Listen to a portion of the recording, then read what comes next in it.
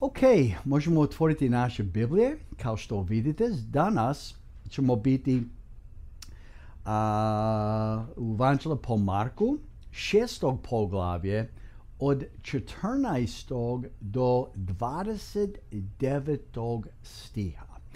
A, samo ću čitati um, od 14. do 16. stiha i onda polako dok propovjedam mi ću propovjedim, onda ćemo proučavati do kraja. 14. stih i dalje mi čitamo Božju riječ. Kralj je Herod čuo za njega, jer je njegove ime bilo u ustima sviju. On reče, Ivan Krstitelj je ustao od mrtvi, zato djeluje u njemu čudesne snage. Drugi su mislili, to je Ilija. Opet drugi, to je, je, to je jedan od proroka. A Herod ostade kod svojega mišljenja. To je Ivan, komu sam dao odsjeći glavu.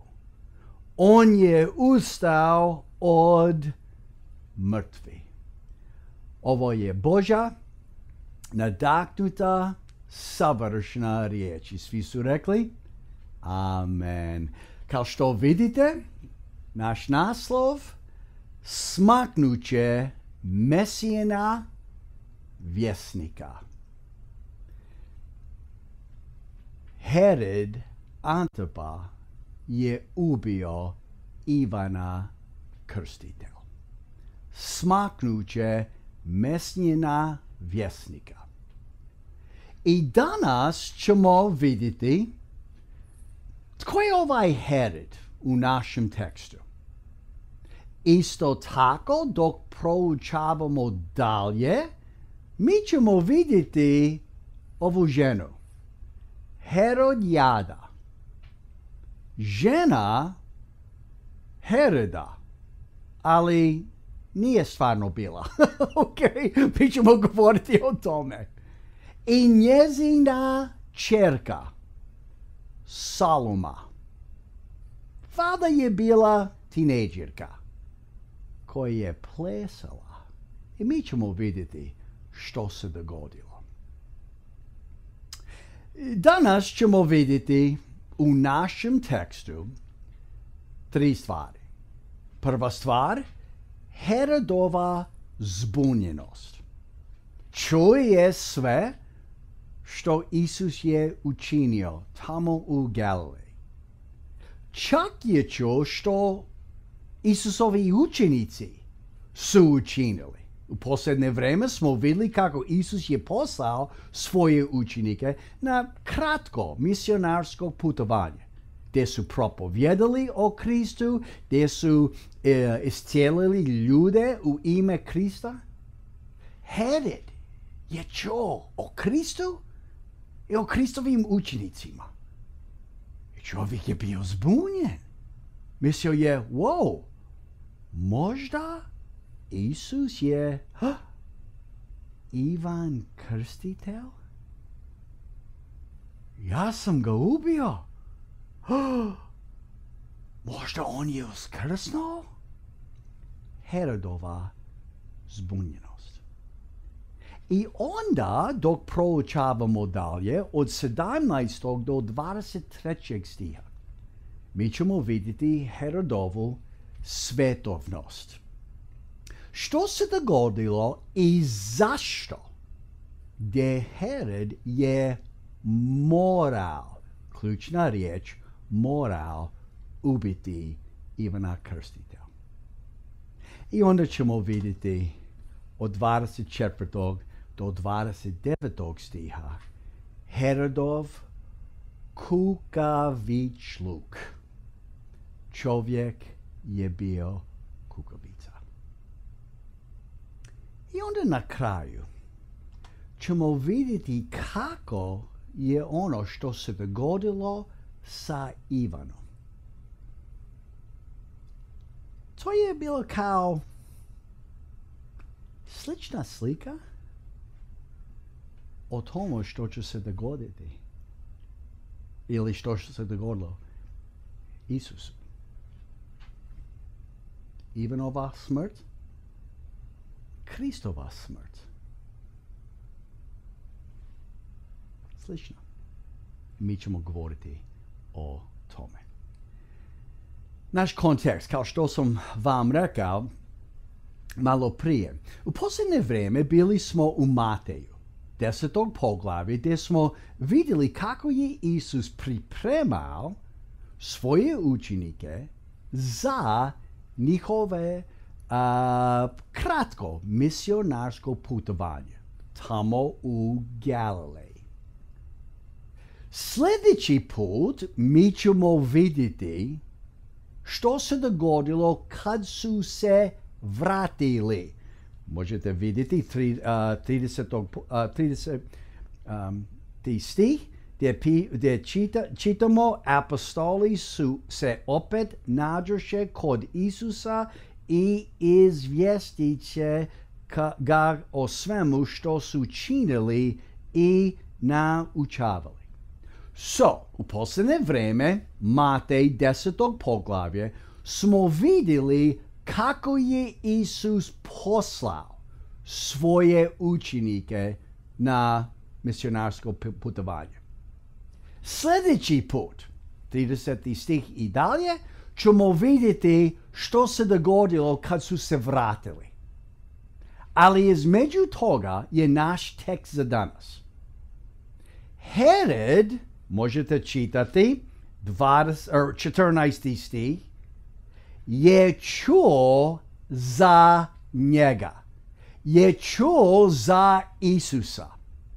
Isto tako je počeo čuti o tome što su Isusovi učenici, koji su bili poslani svugdje u Galileji, on je čuo njima. I čovjek Herod je bio zbunjen. I mi čitamo, on reče, Ivan Krstitelj je ustao od mrtvih? Herod je mislio da je Isus Krist bio Ivan Krstitelj. Ivan Krstitelj, koji je bio mrtav, zbog Heroda. I čovjek je bio zbunjen, čuje sve o Kristu i o Kristovim učenicima i čovjek je mislio, o Ivan Krstitelj. On je uskrsnuo od mrtvi. Zato djeluju u njemu čudesne snage. Drugi su mislili, no, to je Ilija prorok u starom zavjetu. Opet drugi, ne, to je, od, to je jedan od proroka. A Herod ostade kod svojega mišljenja. To je Ivan komu sam dao odsjeći što? Glavu. Herod je ubio Ivana. I sad Iva, Herod je mislio, o o, ja im velik problem. Ja sam ubio Ivana. Ja čujem sve što se dogodi sa Isusom i sa Isusovim učenicima. Oh, Ivan je ustao oh, od mrtvi. Herod je nosio krivnu. On je znao ono što je učinio protiv Ivana. To je, to je bilo protiv Bože, uh, Bože žakona. I sad Herod nepobožan čovjek je mislio, o o, ja imam velik problem ovaj Isus je Ivan Krstitelj koji je uskrsnuo od mrtvi. So mi vidimo Herodovu zbunjenost. opet naš kontekst. Isus je poslao svoje apostole proširiti riječ o Kristu, izliječiti ljude u ime Krista. Mi ćemo vidjeti sljedeći put što se dogodilo kad su se vratili. Ali sada mi vidimo kako je Herod reagirao kad je čuo o svemu što Isus i Isusovi učenici su učinili tamo u Galileji. Vi razumijete kontekst. I sad vidimo Herodovu svetonost. 17. stih. Herod je bio naime dao Ivana uhvatiti, svezati i u tamnicu baciti. Zašto?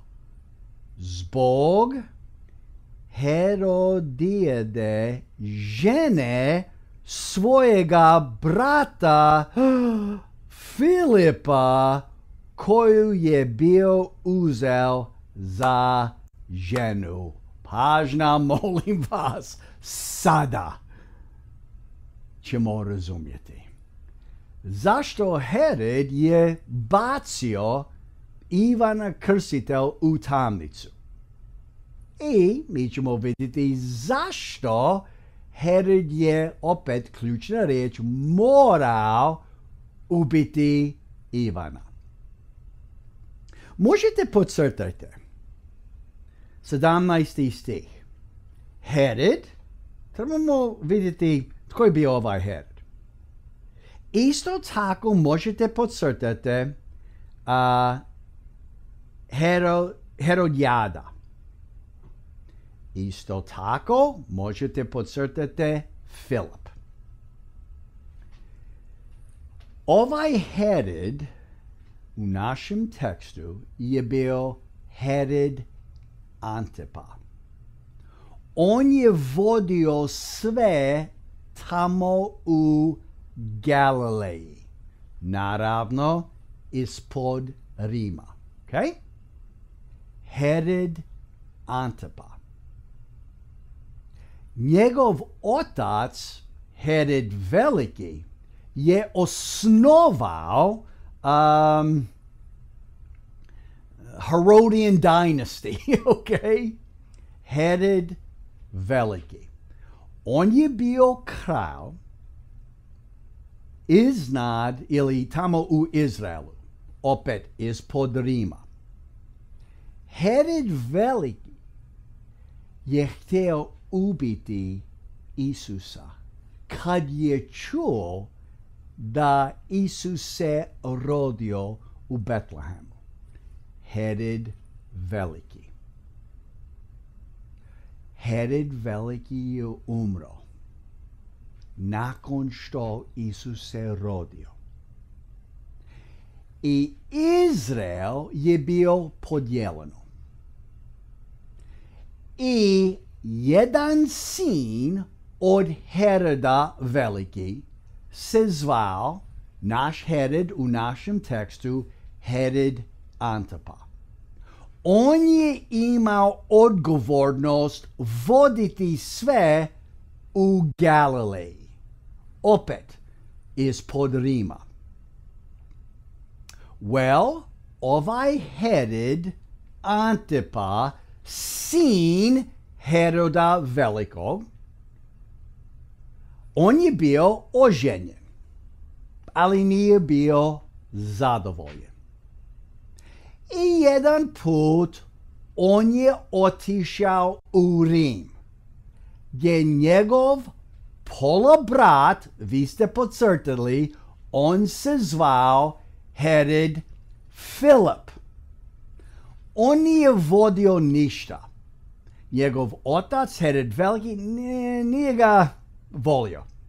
So Herod Filip je živio u Rimu. Bio kao običan čovjek. Herod Filip, pola brat, našega Heroda Antapa u našem tekstu je bio, isto tako bio oženjen. Njegova supruga se zvala Herodjada. Well, Herod Antapa je otišao u Rim se družiti sa, sa bratom. I tada Herod Antapa i Herodjada su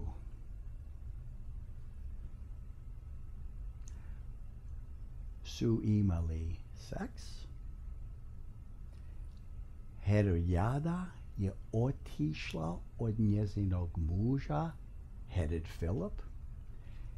Herod Antapa je otišao od svoje žene, ne znam kako se ona zvala. I Herod Antapa i Herodjada su se oženili. I to je bilo protiv Božjeg zakona. I Herodjada je imala čerku. Od Filipa ona se zvala Saloma.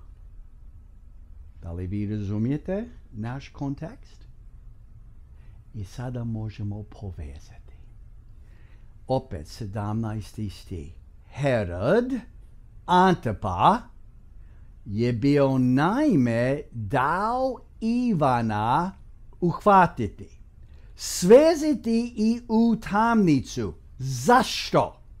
Zbog Herodjade, žene svojega brata Filipa, tamo u Rimu, koju je bio, uzeo za ženu. Ivan Krstitelj, 18. stih, je naime prekorio Heroda, nije ti dopušteno imati ženu svojega brata.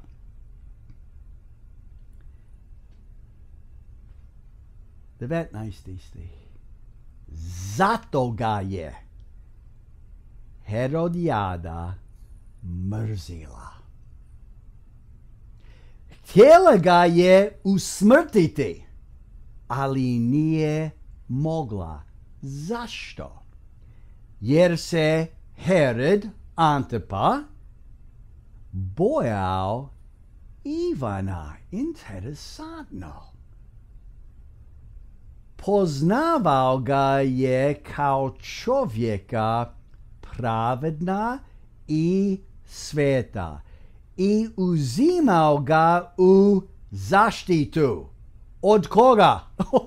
Od herojade. Crazy žena. Mi čitamo dalje. Kad ga je slušio, vrlo bi se zbunio. Ali ga je ipak rado slušao. Ivan Krstitelj je bio vjeran. Već je pripremao put za Krista. I nakon što Krist je došao, Krist je počeo propovjedati, učiniti čudese i tako dalje. Isto tako Krist je uh, izabrao svoje apostola, on ih je počeo trenirati, on ih je poslao na kratko misionarsko putovanje. Što se dogodilo sa Ivanom? On je završio svoje poslanje pripremati put za Krista, ali dok Ivan još je bio živ, on je bio vjeran propovjednik. I on je korio ovog Heroda, Antipa. Ivan Krstitelj nije se bojao. On je bio vjeran prorok, vjeran propovjednik. On je rekao Herodu, ono što ti si učinio, kako si uzeo ženu svojega brata Filipa? To je protiv Boga, to je protiv Božjega zakona. Herodijada? Ona je mrzila Ivana. Ali Herod Antipa, bez obzira da Ivan krstitelj mu je rekao, ej, što ti si učinio je protiv Boga. Bez obzira mi čitamo. On je poštivao Ivana. Bez obzira da Ivan mu je rekao, ti si se grešio protiv Boga. Herod Antipa je vidio da Ivan je bio pobožan čovjek, vjeran čovjek, smion čovjek. I on je poštivao Ivana kao Boži čovjek. I htio je zaštititi Ivana od koga? Od svoje žene. I mi čitamo, i on je bacio Ivana u tamnicu. Ali često je otišao se družiti sa Ivanom, čuti od Ivana Božju istinu. Opet mi čitamo 17. stih i dalje možemo povezati everything. Sve. Herod je bio najma dao Ivana uhvatiti, svezati i u tamnicu, baciti zbog Herodajede, žene svojega brata Filipa, koji je bio uzeo za ženu. Ivan je najma prekorio Heroda, nije ti dopušteno imati ženu svojega brata.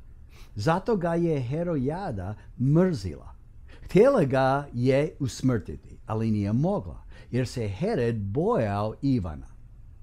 Po, poznavao ga je kao čovjeka pravedna i sveta i uzimao ga u zaštitu. Kad ga je slušao, vrlo bi se zbunio, ali ga je ipak rado slušao. I tada dođe zgodan dan. Za koga? Hello. Za ovu crazy ženu. Tada dođe zgodan dan. Herod na svoj rođendan priredi gozbu svojim knezovima, časnicima i prvacima Galileji.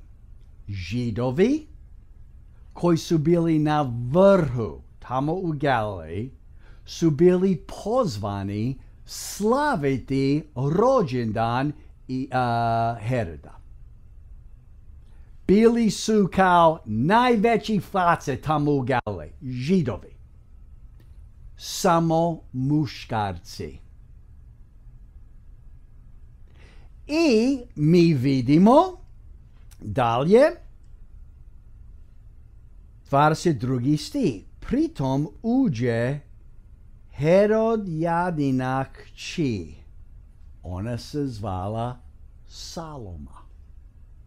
I došla tamo gdje je bio taj party. Opet, židovi, muškarci. I mi čitamo. Pritom uđe Herodjanina či i plešući ugodi Herodu i njegovim gostima. Možete zamisliti.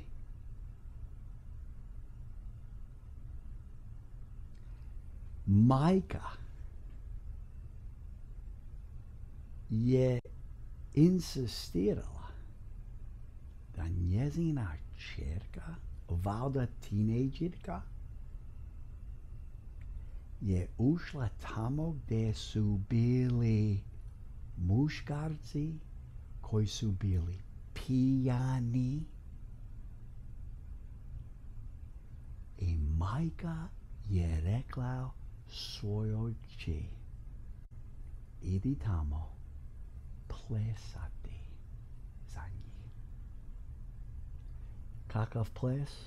opet mi čitamo.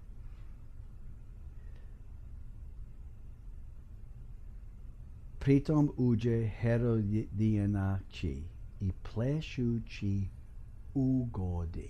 Vi možete, vi možete razumjeti što to znači. Ugodi Herodu i njegovim gostima. Kakva majka. Kakav otac. Znam da Solomon nije, nije Soloma eh, nije bila uh, you know, kćer uh, Herodov Antipa, ali bez obzira, on je bio odgovoran za nju. Kad je o, oženio uh, Herodijadu. I možete zamisliti Herod, pijan, sa svojim gostima, svi koji su bili pijani, on je dozvolio da Saloma je plesala ispred njega, ispred njih, ugoditi goste? Ha, ali gle, naš Herod. On je rekao djevojci, traži od mene što hoćeš i daću ti. I zakle joj se daću ti što god zatražiš od mene, makar bila polovina mojega kraljevstva. Čovjek je bio pijan, on je bio bahat, gle, moja čerka, kako je plesala. Što god želiš od mene, daću ti. O-o. Herod je pao u zamku. Zamka? Herod jada. Kako to znamo?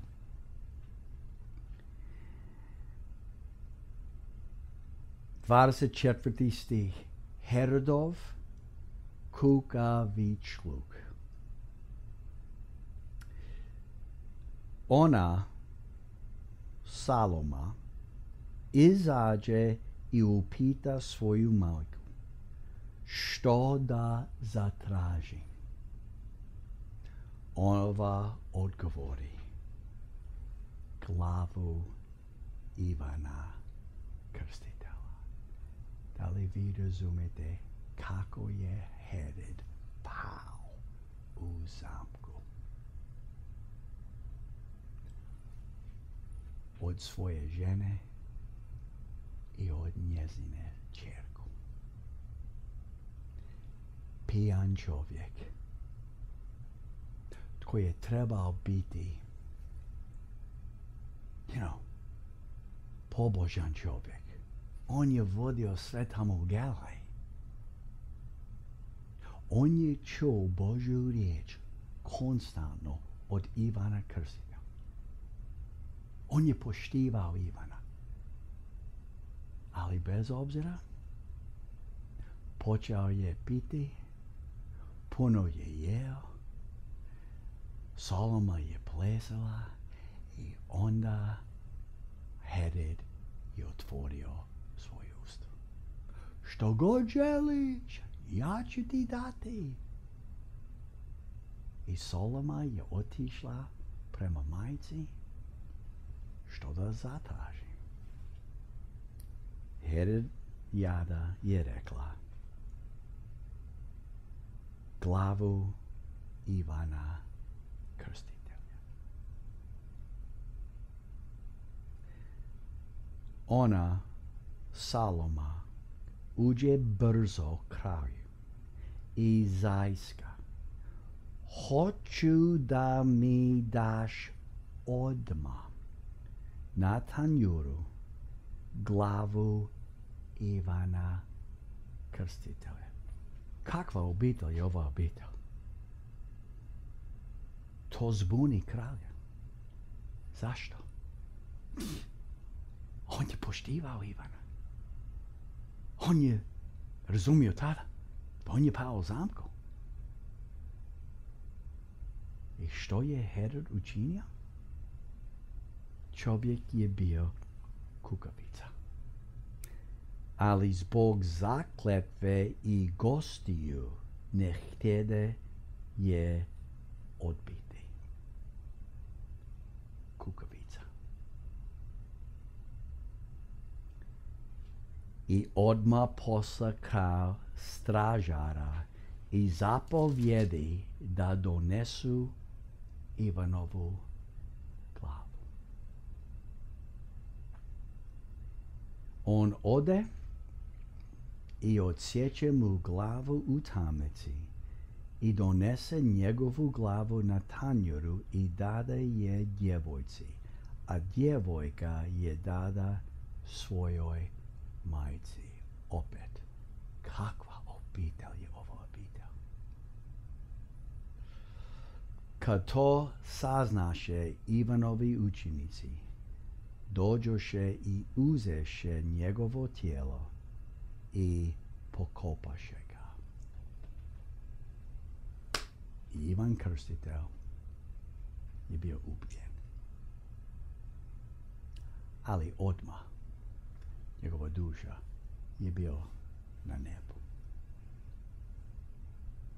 Ali možete zamisliti smaknuće mesnjena vjesnika.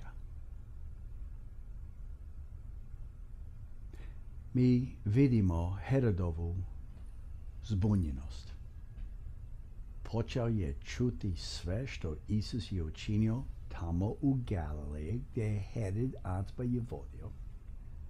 Čak je počeo čuti sve što su Isusovi učenici učinili u ime Krista, kad i Krist ih je poslao na kratko misionarsko putovanje.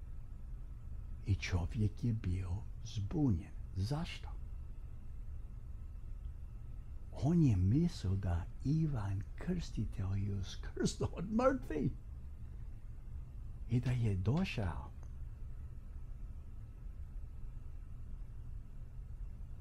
napaditi na Heroda. Ili osvetiti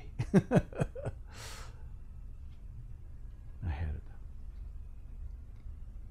I onda vidimo Herodovu svetovnost. Ukrao je ženu od svojega brata Filipa i njezina čerka. Onda je imao velik party gdje on je pozvao svi koji su bili faci tamo u Gali, muškarci, židovi. I on je bio pijan. Onda Saloma je došla plesati. I čovjek je vikao, on je htio pokazati kako on je imao moć i sve i svašta i čovjek je pao u zamku. I zbog toga on je, kao što sam vam rekao dva puta prije, on je morao ubiti Ivana. Zašto? Zbog toga što Herod nije htio izgledati kao možda da nije bio like najmuda čovjek.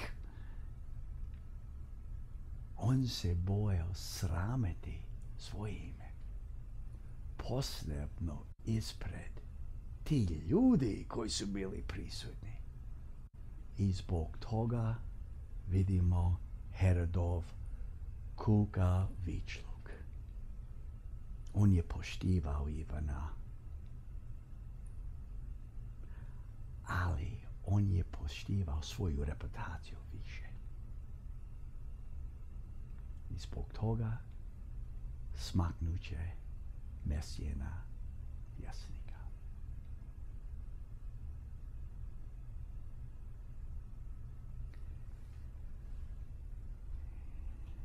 I ono što se dogodilo sa Ivanom zbog Heroda kukavica To je bila kao slična slika. O čemu? Ono što se dogodilo protiv Isusa. O čemu pričaš, Andrej? Hajmo, možemo provjeriti. Luka, devetog poglavlja.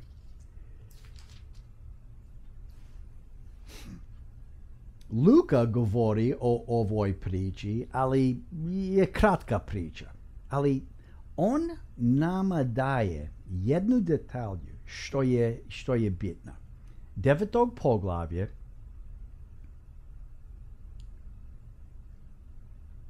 sedmi stih. Četverovlasnik Herod, Antipa, koji je vodio Galileji, čuje o svim tim događajima, te ga je obuzel nemir. On je čuo sve o Isusu i o Isusovim učenicima, te ga je obuzel nemir. Jer neki rekoše, Ivan je uskrsnuo od mrtvi, drugi, Ilija se pojavio, opet drugi, jedan od starih proroka uskrsnuo. Herod reče, ali ja sam dao Ivanu odsjeći glavu. A tko je taj, on je govorio o Isusu, o kome čujem takve stvari. I gle sada, mi čitamo. I Herod je želio vidjeti Isusa. Zašto? Možda je htio slaviti Isusa, ha? Možda je htio se, pokaja, se pokajati od svojeg greja, se osloniti na Krista kao spasitelj, ha? Zašto je Herod htio vidjeti Isusa? Naš odgovor, 13. poglavlje. Mi čitamo 31. stih i dalje. Dok Isus je bio na putu do Jeruzalema, mi čitamo 31. stih u isti dan, pristupiše neki ferize i rekoše mu, otiđi i udalje se odavle, jer Herod Antipa, koji je ubio Ivana, jer Herod hoće da te što? Ubije. Čovjek je imao svaku priliku čuti Božju istinu od Ivana. Čovjek je poštivao Ivana. Ali gle kako ovaj čovjek je bio kukavica. On je ubio Ivana, htio je zaštititi svoju reputaciju ispred tih ljudi i onda htio je vidjeti Isusa. Zašto? Htio ga htio je ga ubiti. Ali Isus im odvrati. Idite i kažete onoj lisici. Gle što Isus je rekao o, o Herodu Antipa. Idite i kažete onoj lisici. Evo, izgonim đavle i iscijelujem danas i sutra, isto sam treći dan s time gotov ali danas, sutra i preko sutra moram putovati jer ne ide prorok da drugdje nađe smrt negoli u Jeruzalemu. Drugim riječima, Isus je rekao a, tim ljudima, ajde recite Herodu, ja sam potpuno u kontroli. Herod nije. So, Herod je htio vidjeti Isusa. Zašto? Htio ga ubiti. Isus je rekao, a, ok, da li to znači da Herod nikad nije vidio Isusa, nikad nije bio prisutan gdje Isus je bio, prije nego Isus je umro? A, a, gle sada. Opet Luka, 23. poglavlje. Mi vidimo što se dogodilo. Prvi stih i dalje. Tada se svi podigoše i odvedeše ga Pilatu. Govori o Isusu. Bio je u Jeruzalemu, bio je uhićen i mi čitamo židovi su ga odvjetili ga Pilatu. On je ga počeši optuživati. Nađer smo da ovaj buni naš narod, da zabranjuje plaćati caru porez. To je bio laž. I da se pravi mesijom krajem. To je bila istina. Pilat ga upita, jesi ti židovski kralj? On, on mu odgovori, ti kažeš. Pilat izjavi svećenikim glavarima i narodu. Ja ne nalazim nikakve krivnje na ovome čovjeku. Hello? Herod je to rekao o Ivanu. On ga je poštivao. Bez obzira da Ivan ga je korio. Pilat. Kukavica. Kao Herod. Gle što on je rekao o Isusu. On, okej. Okay. Ali gle što su židovi muškarci u Jeruzalemu rekli. Ali oni su još jače zahtjevali. On buni svojim naukom narod po svoj jedojskoj zemlji, počevši od Galileje dovede, dovde. Kad je to čuo Pilat, raspita se je li on Galilejec. Kad dozna da je iz, hello, Herodov područja, posla Isusa Herodu, koji je oni dane također boravio u Jerusalemu. Hello, konačno, Herod je imao priliku vidjeti Isusa. Što se dogodilo? Osmi stih. Herod se vrlo obradova kad vidje Isusa. Odavno je želio vidjeti ga zašto? Zbog onoga što je čuo o njemu. I nadao se da će vidjeti od njega kakvo čudo. Čovjek nije htio se pokajati od svoje gre, nije htio se osloniti na Krista kao Mesija, nego je tražio kao magic man od Isusa. I tako ga stade pitati za mnoga, mnogo toga. Ali mu Isus ništa ne odgovori. Svećeniki, glavari i pismoznaci stajale su pritom i ne prestano ga tužili. Tada mu se naruga Herod sa svojom pratnjom. Za porugu mu dade obući bijelu haljinu i posle ga tako natrag Piletu.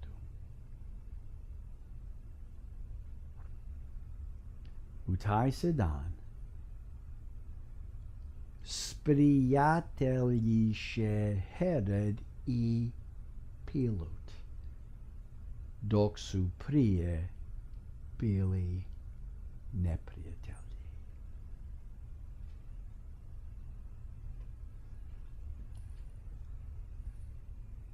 Herod Kukovica.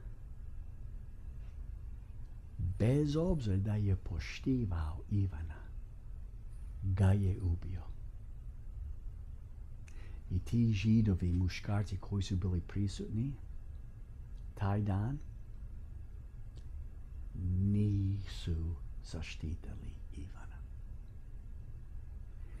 Isto tako Pilat, kukovica, koji je poštivao Isusa, ga je ubio. I ti židovi koji su bili prisutni tamo u Jerusalemu nisu zaštitili Isusa. Ivanova smrt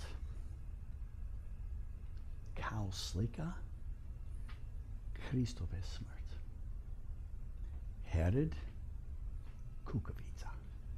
Pilet, kukavica. Herod je poštivao Ivana. Pilet je poštivao Krista. Ali Herod je tražio zaštititi svoju reputaciju nego zaštititi život Ivana i Pilat isto tako je htio zaštititi svoju reputaciju nego život Krista. I židovi koji su bili prisutni kad Herod je tim imao taj rođena, ništa. Ti židovi koji su bili prisutni kad Isus je bio razapet, ništa. Vikali su, rasmi ga, rasmi ga. Da li vi vidite? Ivanova smrt kao slika Kristova smrt.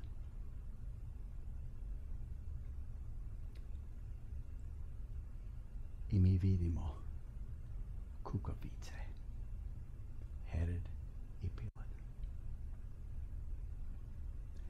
Naravno, Isusova smrt je bila platiti za grehe svoje ovce. Ivan, njegova smrt nije bila kao platiti za, za grehe. Ali interesantno, ono što se dogodilo protiv Ivana je bila slika. Ono što se dogodilo protiv Krista. Ha? Ali ne trebamo biti iznađeni. Zašto? Knjiga Postanka, trećeg poglavlje.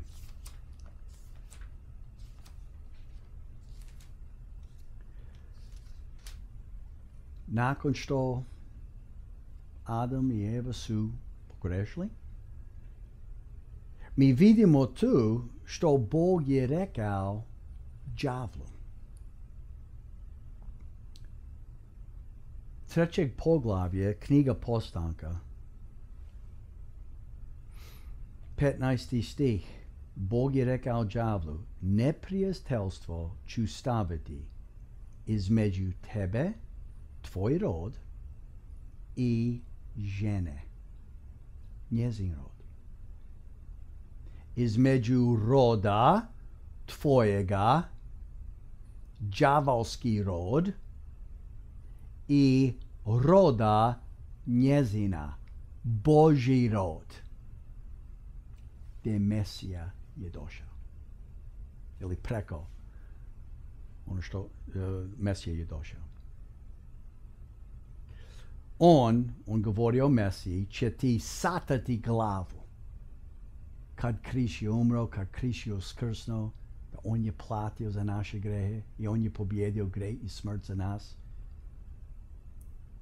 on, Mesija, će ti satati glavu. I ti ćeš mu raniti Petru. Đava je mislio da on je pobjedio kad je vidio Krist, Krista na križu. Ali mi znamo da Krist je otišao na taj križ otkupiti svoje ovce. Krist je dozvolio ono što se dogodilo njemu. Zašto? Proslaviti oca i otkupiti grešnike. Isus Krist, savršen Bog čovjek, je ispunio svu pravednost i onda je dozvolio biti razapet na križu, bez obzira što papilet je rekao i kako je bio kukavica. To je bio Boži plan te naši gresi su bili stavljeni na Krista, Boži gnev je bio stavljen na Krista umjesto nas. Križ je umro, ali treći dan kasnije on je uskrsnuo od mrtvi. On je pobjedio gre i smrt za svoje ovce. Opet, kao Bog je obećao, knjiga postanka trećeg poglavlja. Neprijateljstvo ću staviti između tebe, džavle i žene između roda tvojega i roda njezina. I Mesija će ti satati glavu i Krist je to učinio. I ti ćeš, đavo, mu raniti petu. Mi vidimo tu, Bog je obećao da će biti dva roda. Ili dva rodova, ne znam na, na, na Two lines. Božji rod, đavolski rod. I đavolski rod, po Bogu tu, će uvijek pokušavati napadati na Božji rod. Na primjer, Herod, Herodijada, Saloma, đavolski rod je napadao na Ivana Boži rod. Ali bez obzira, Ivan je ispunio svoje poslane pripremati put za Mesija. I do kraja Ivan je bio vjeran. I kad je bio vreme, Bože vreme, Ivan je umro, ali odma je bio na nebu kod Boga. Đavolski rod nije pobjedio. Isto tako, Pilat, kukavica kao Herod. Ti židovi koji su vikali o Isusu, rasmi ga, rasmi ga, rasmi ga đavolski rod koji je napadao na Boži rod, na Mesija. Đavao je mislio da on je pobjedio. Ali treći dan kasnije, gle što se dogodilo, Krist je uskrsnuo od mrtvi. I on je pobjedio gre i smrt za nas. Ono što Bog je rekao, tu Knjiga postanka trećeg poglavlje 15. stih. Đavolski rod, Boži rod. Neprijateljstvo. Mi vidimo to svugde u Bibliji. I čak smo to vidjeli u našem tekstu danas. Herod Antipas kukavica, đavolski rod. Gle kako taj čovjek je živio. Imao je svaku priliku čuti Božju riječ od Ivana. I na kraju, gle što se dogodilo. On je pao u zamku i morao je ubiti Ivanu. Zaštititi svoju reputaciju. Ti židovi koji su bili prisutni, ništa. Nisu zaštitili Ivana. Zašto? Bili su u đavolskom rodu. Isto tako, Ivan, er, Herod je htio vidjeti Isusa. Zašto? Htio je ga ubiti. I konačno taj dan on je vidio Isusa. Kad Pilat je poslao Isusu kod Heroda. Herod ga nije, uh, nije se pokajao, nije se oslonio na Krista za spasenje. Zašto? Herod je bio u đavolskom rodu. I čak Pilat, kukavica, znao je da Isus nije sagrešio, nije, nije zaslužio smrt, ali čovjek je bio kukavica. I ti židovi koji su bili prisutni, isto tako. Zašto? Đavolski rod. Ali Mesija je pobjedio. On je pobjednik. I on je jedini spasitelj. Dva roda. Đavolski rod, Boži rod. Pitanje dok završim.